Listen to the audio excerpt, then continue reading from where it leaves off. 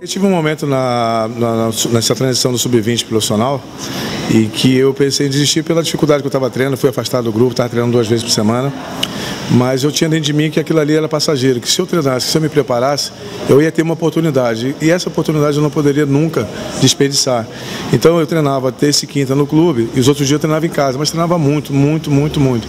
E foi assim que aconteceu. É, houve uma mudança de treinador e aí, primeiro dia do, do treinador que tinha acabado de chegar ao clube, eu fui treinar na quinta-feira, que era o dia que tinha coletivo, que é, que é o joguinho. Eu entrei no quinto time, já um mosquito mordendo a perna do treinador, mas ele ficou ali até o final para ver todos. E aí, com cinco minutos de treinamento, ele me chamou, se levantou a mão, eu olhei, fiz, perguntei se era comigo, ele falou que era. Fui lá falar com ele. E ele perguntou para mim por que, eu não era titular daquele time. E eu falei, eu não sou e treino duas vezes por semana, treino afastado. Não acredito a partir de hoje você pode me treinar amanhã e meu time é você mais 10. E foi daí que minha vida mudou.